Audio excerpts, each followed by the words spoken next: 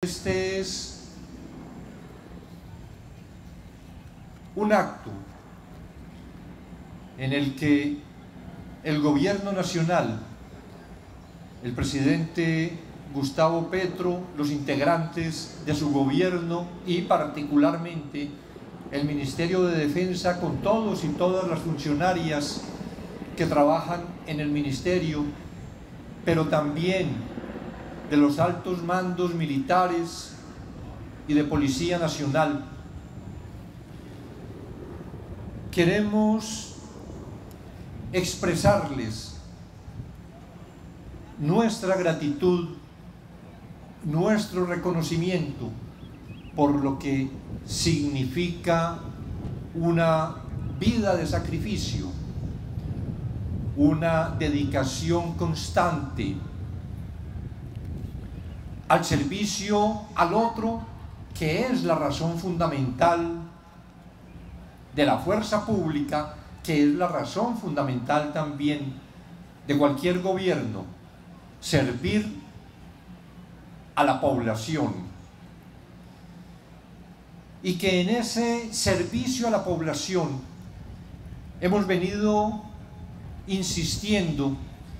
en la necesidad de que cada hombre, cada mujer integrante de la fuerza pública sea en sí mismo un referente ético para la comunidad,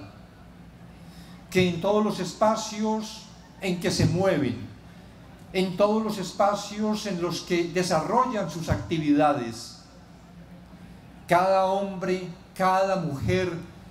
sea mirado por las comunidades a las que sirven, como hombres y mujeres comprometidos con la paz, con la democracia, con el Estado social y democrático de derecho, comprometidos además con la integridad y con el respeto absoluto por los derechos humanos y que sobre estas dos bases fundamentales del respeto por los derechos humanos y de la integridad que cada hombre y mujer de la fuerza pública tiene que no solo tener como una regla de vida, sino también como un comportamiento que trasciende en sus espacios para asegurar que no solo se es honesto, que no solo se rechaza cualquier práctica corrupta, sino que además no permite que en su entorno haya prácticas corruptas, que es un compromiso individual, pero también colectivo, en los espacios cotidianos en los que se convive con sus compañeros y compañeras, pero también en los espacios en los que realizan sus funciones, el cumplimiento de su deber constitucional, de su misión con las comunidades, a las que además existe el deber de respetar sus derechos, de proteger el disfrute de sus derechos. Y que en ese especial relacionamiento de ustedes, de todos los hombres y mujeres de fuerza pública con las comunidades, las comunidades sientan que tenemos, que tienen una fuerza pública a su servicio, para su protección, para su seguridad, para su acompañamiento, para lograr espacios de convivencia en los que la promoción de la persona humana permita, como tiene que ser el propósito de cualquier gobierno, fortalecer todos los proyectos que nos puedan conducir a una vida con dignidad en un país que tiene que estar abierto para todos, habitable para todos, grato para todos y todas. Y ahí hay una gran responsabilidad de ustedes. y que he insistido igualmente en todos los propósitos de paz que se desarrollan desde este gobierno, siempre, en cualquier circunstancia, son ustedes, hombres y mujeres de la fuerza pública, quienes tienen que aportar a la paz, quienes contribuyen porque ninguna paz es posible como no es posible sostener una democracia sin la participación dentro del Estado de Derecho, con el respeto, con el apego a la constitución política, sin la participación de las fuerzas militares y de la Policía Nacional. Hay circunstancias que vivimos que pese a las cuales siempre es indispensable que ese respeto pleno por los derechos de las personas se mantenga, que no declinemos en ninguna circunstancia. Hay un honor de las fuerzas militares y de la Policía Nacional que está por encima de cualquier consideración. El honor que cada uno y cada una de ustedes no solo representan, sino que fomentan, que extienden. El reconocerse cada integrante de fuerza pública, reconocerse como una pieza fundamental en el proceso de construcción de democracia, en el proceso de construcción de un país en el que la vida sea efectivamente el valor supremo, pero no cualquier vida, una vida con dignidad que ustedes están llamados y llamadas también a garantizar en los espacios de convivencia que naturalmente es el gobierno nacional el que a través de sus programas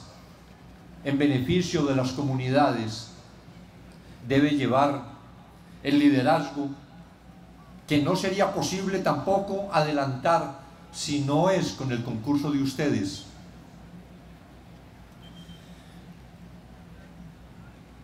Y en esto, aprovechando esta circunstancia especial de estar frente a tantos y tantas integrantes de fuerza pública para hacer una reiteración,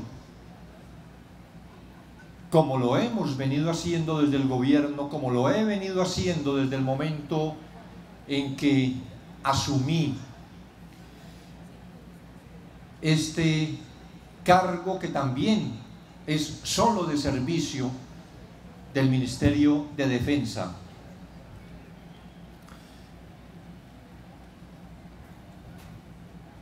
Hemos venido por unas circunstancias especiales antes y después del proceso de paz del 2016. Hemos venido en situaciones reales de deterioro en el control de los territorios que tiene que estar a cargo de la fuerza pública.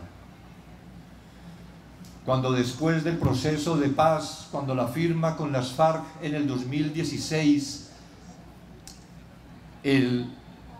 abandono que de muchos territorios en los que tenían un gran control, esta organización armada ilegal. A lo que se aspiraba era que por la presencia del Estado, la fuerza pública en primer lugar copara esos territorios, pero al lado de la fuerza pública y detrás de la fuerza pública el gobierno hiciera una presencia plena para recuperar también social, económicamente, estos territorios y las comunidades entonces empezaran a sentir los beneficios de la paz que se pactaba. Circunstancias muy conocidas hicieron que ese proceso, que ese acuerdo de paz no se implementara. En unos casos con una intención manifiesta de no implementarlo. En otros casos, probablemente dificultades que ocurrían en algunos territorios. Pero de todas maneras, esto dio lugar a que nuevas fuerzas, como las disidencias de las FARC, u otras,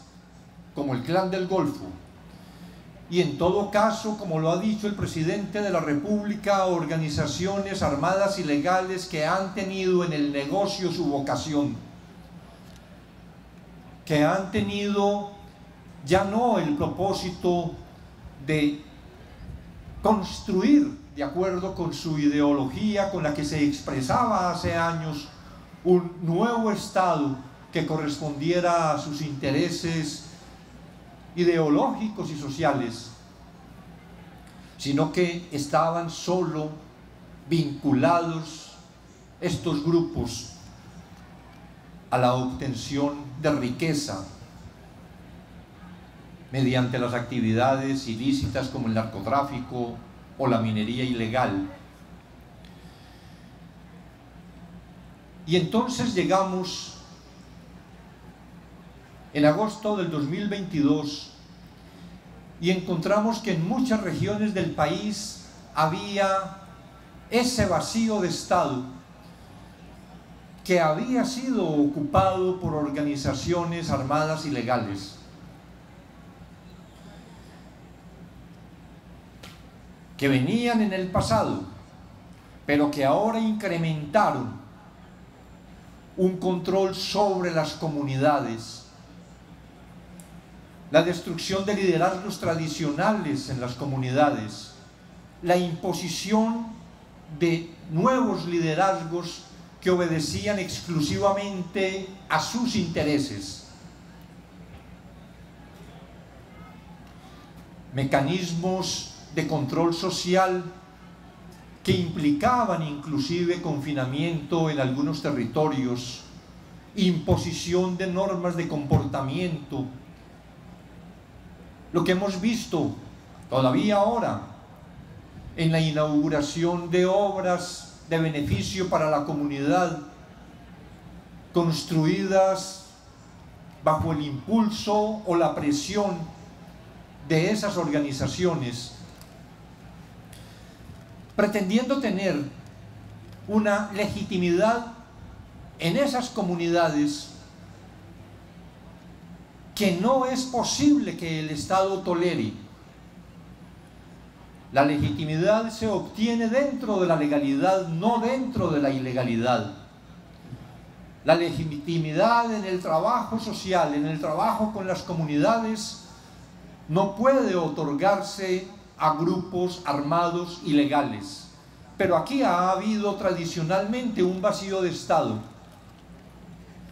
Y entonces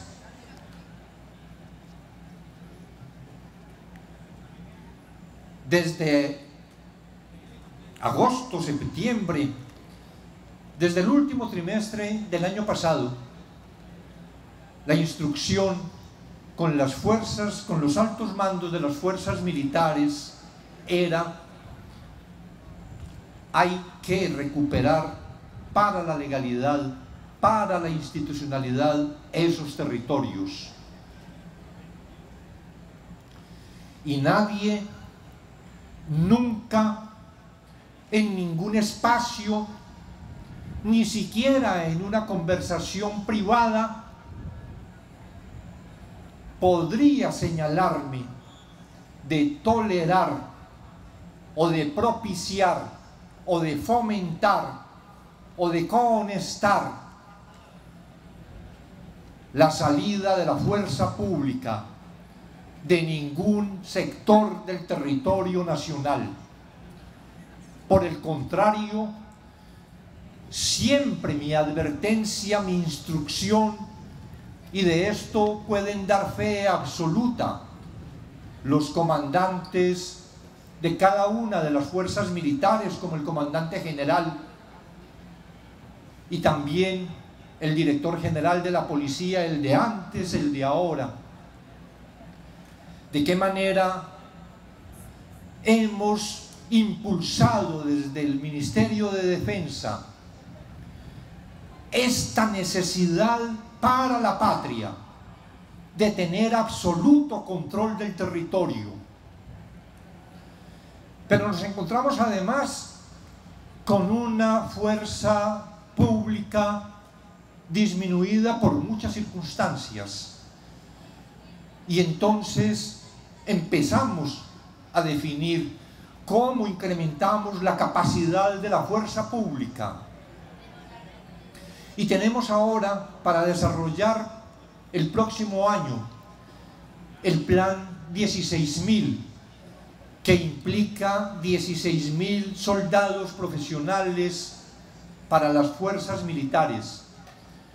y el plan 20.000, que significa incrementar en 20.000 hombres y mujeres la Policía Nacional. Porque requerimos capacidades, y lo he afirmado también en muchos espacios, sea para la guerra, sea para la paz, requerimos unas fuerzas militares y de Policía Nacional fortalecidas. Si es para la paz, para impedir que se repita lo que ha ocurrido en procesos anteriores, que luego de dejación de armas por algún grupo, entonces nuevos grupos toman el control de esos territorios. Y si es para la guerra, porque es necesario asumir el control de esos territorios. Pero en todo caso, siempre también la advertencia principal sobre la que hemos construido desde el inicio en el Ministerio de Defensa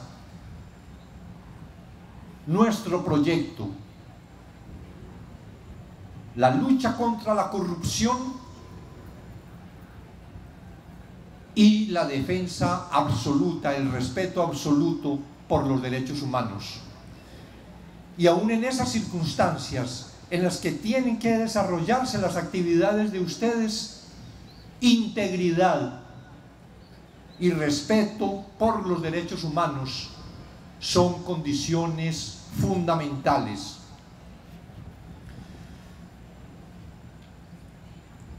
Claro, se producen muchas veces algunas voces, por eso decía, el honor está en ustedes, el honor está en la institucionalidad que ustedes representan. Se presenta muchas veces en algunos espacios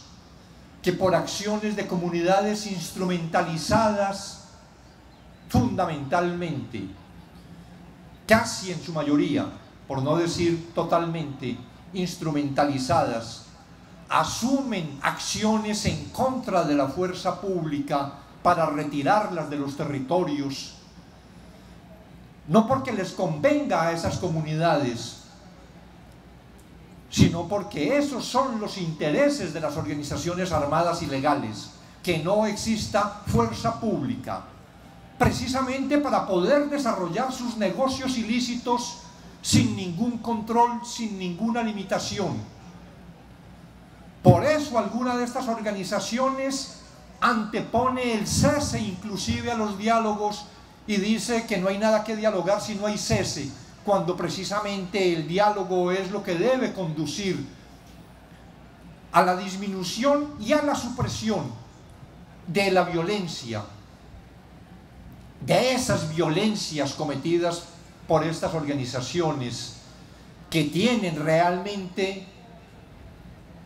poblaciones enteras sometidas y están bajo el sufrimiento del control ilegal que asumen. Y entonces, en esas circunstancias, tiene que avanzar también la fuerza pública, no obstante situaciones adversas como aquellas que pueden presentarse, pero siempre bajo sus mandos, con una clara determinación. Inclusive lo hemos dicho en ocasiones, hemos dispuesto en ocasiones cuando asonadas en algunos territorios se han cometido contra miembros del ejército y entonces pretenden imponer que los extraigamos vía helicoportada como si estuvieran huyendo del lugar. Y hemos dicho, el ejército permanece, el ejército está naturalmente en su actividad constante de patrullaje hacia otros sitios, pero no sale como en fuga de ninguna parte. Quería plantearles estas reflexiones precisamente porque la invitación del gobierno, mi invitación a hombres y mujeres de la fuerza pública, es que incrementemos ese compromiso.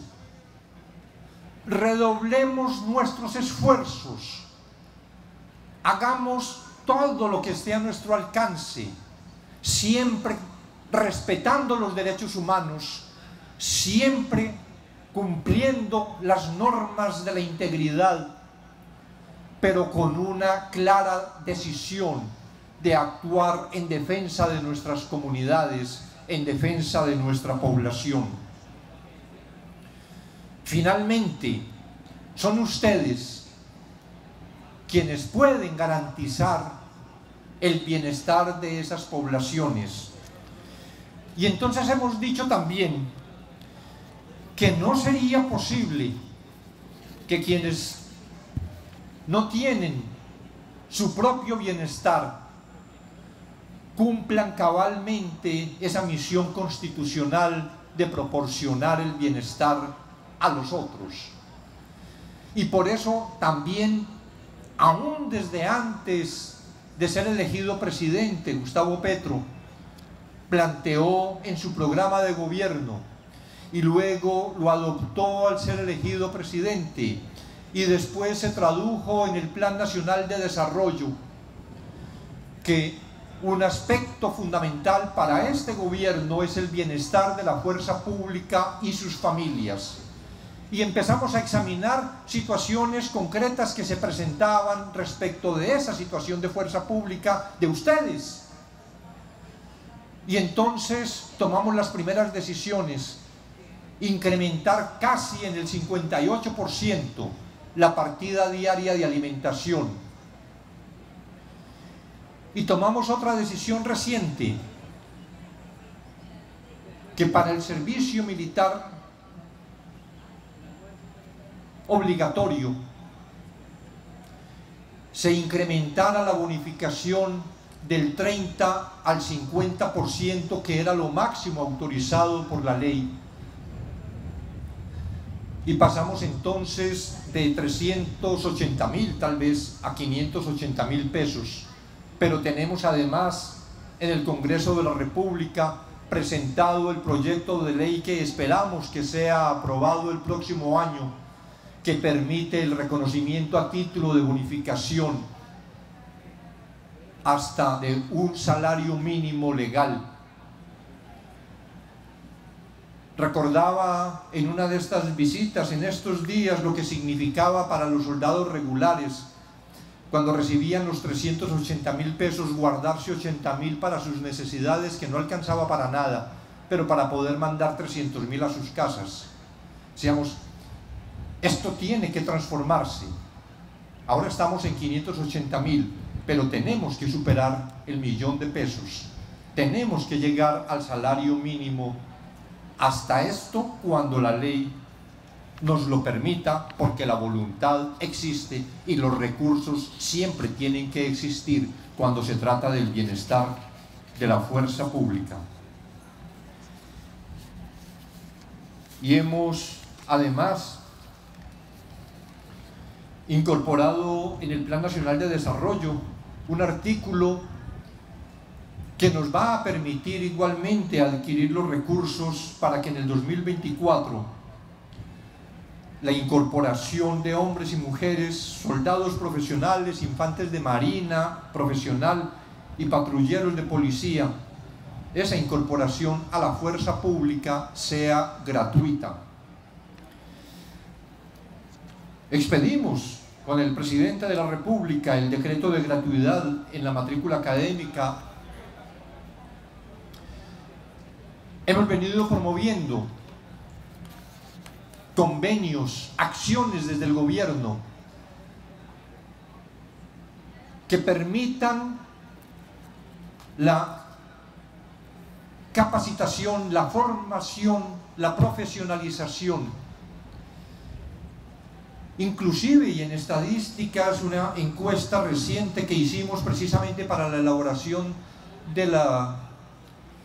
política pública de bienestar de la fuerza pública y sus familias, de qué manera se presentaban altos porcentajes de no terminación de secundaria, de no terminación de primaria y en algunos casos inclusive de no haber cursado ningún nivel de preparación básica y que esto es necesario transformar y vamos a desarrollar toda nuestra actividad para transformarlo, para que todo hombre y mujer de la fuerza pública sea por lo menos bachiller, pero asegurarnos además que quienes quieran continuar en su formación puedan ser también beneficiarios de programas de pregrado, inclusive de posgrado, y estamos en esa dirección celebrando ahora un convenio con el ICETEX para empezar con un aporte inicial de 35 mil millones de pesos, empezar lo que tiene que ser un proyecto continuado, no solo de este gobierno, que trascienda este gobierno. Pero también en cuanto a mejoramiento de las condiciones de vida de ustedes, la construcción con unos recursos adicionales que se obtuvieron este año por 600 mil millones de pesos en la adición presupuestal destinada a construcción, mantenimiento y recuperación de la infraestructura de alojamientos, comedores y ranchos de tropa, construcción de 36 aulas de estudio y un complejo acuático en la Escuela Militar de Suboficiales del Ejército Nacional, la construcción de tres edificios para alojar a más de mil soldados profesionales en formación y mejorar también las condiciones de alojamiento para las mujeres que cada vez más se vinculan a la carrera militar. Fortalecer la adquisición y la infraestructura de viviendas fiscales, mejorar el bienestar de hombres y mujeres de la Unidad Nacional de Diálogo y Mantenimiento del Orden de la Policía Nacional, la UNDEMO. Que ustedes, soldados profesionales e infantes de Marina, puedan tener su propio centro recreacional. Empezaremos el próximo año por lo menos con un centro recreacional, la idea es que podamos construir o adquirir tantos cuantos sean suficientes para que la demanda de recreación de ustedes pueda ser satisfecha de manera oportuna. Y esto de iniciar con uno o dos implica que sigamos en esa dirección este gobierno, los gobiernos posteriores, porque este tiene que ser además un compromiso del Estado con quienes entregan sus vidas al servicio de la patria, de las comunidades, de la población, y que es el mínimo reconocimiento que esta sociedad debe hacerles. Estímulos educativos para incentivar la meritocracia, fortalecer el sentido de pertenencia y permanencia en los integrantes de la fuerza pública, alfabetizar lo que les mencionaba ahora y cerrar las brechas en educación básica y media y prepararlos para su profesionalización.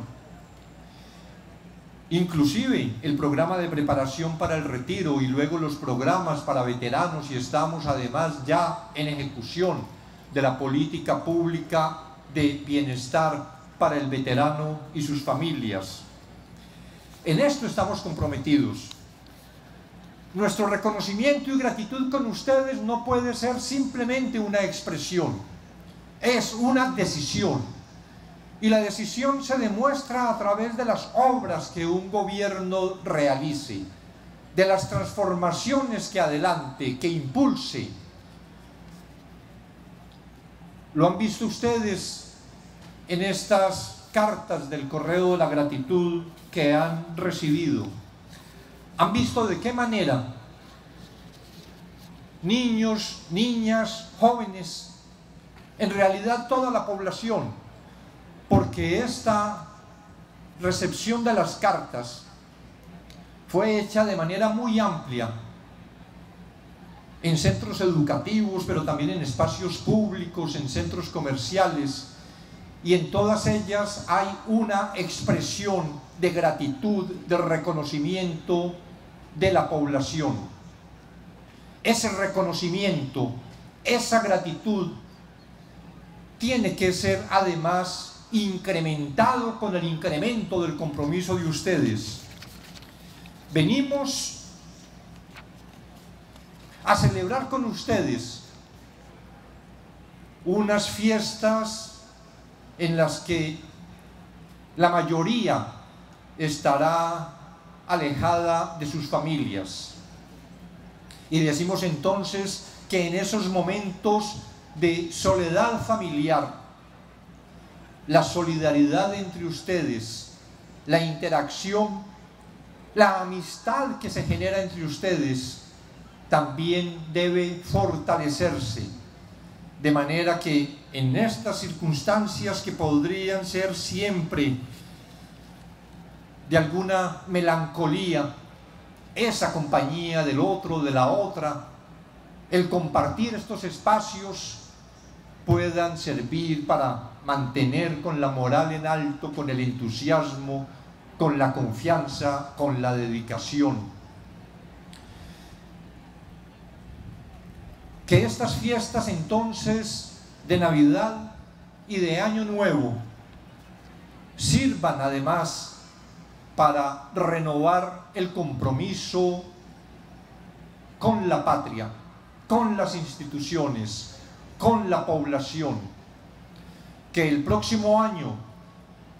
que seguramente no va a ser un año de paz, pero que ojalá sea un año en el que se pueda marchar con mayor decisión, con mayor efectividad, con mayores resultados en el camino de la paz, sean ustedes hombres y mujeres de la fuerza pública protagonistas importantes. Un saludo pues a todos y a todas de Navidad, de Nuevo Año, que estas festividades sean disfrutadas con las limitaciones naturales que ustedes tienen, pero que sean disfrutadas. Y que en el compromiso individual y colectivo siempre estemos con la idea, con la convicción y con el desarrollo de todas las acciones posibles por hacer que Colombia pueda ser en realidad es una esperanza, un sueño, una ilusión que tenemos que hacer realidad, que Colombia sea un país en el que la vida, sobre todo la vida digna de hombres y mujeres, sea una demostración ante el mundo de cómo se puede reconstruir hacia la dignidad, hacia la plena democracia, hacia el respeto por los valores y por los derechos, una sociedad que está tan necesitada de referentes éticos y ustedes, hombres y mujeres de la fuerza pública, si se comprometen en realidad, con toda sinceridad, con toda convicción, en respetar y en fomentar los derechos de las personas, en el compromiso contra la corrupción, podrán ser esos referentes éticos que la sociedad necesita, que están siempre cercanos a ustedes y ustedes cercanos a esas comunidades. Y que entonces así, digamos pues, finalmente, podamos, ojalá muy pronto decir que Colombia sí es una potencia de la vida digna. Bienvenidos, bienvenidas a esta celebración, mi reiteración de gratitud, de reconocimiento por la labor que ustedes realizan, por el sacrificio permanente que hacen y a continuar en la fiesta. Muchas gracias.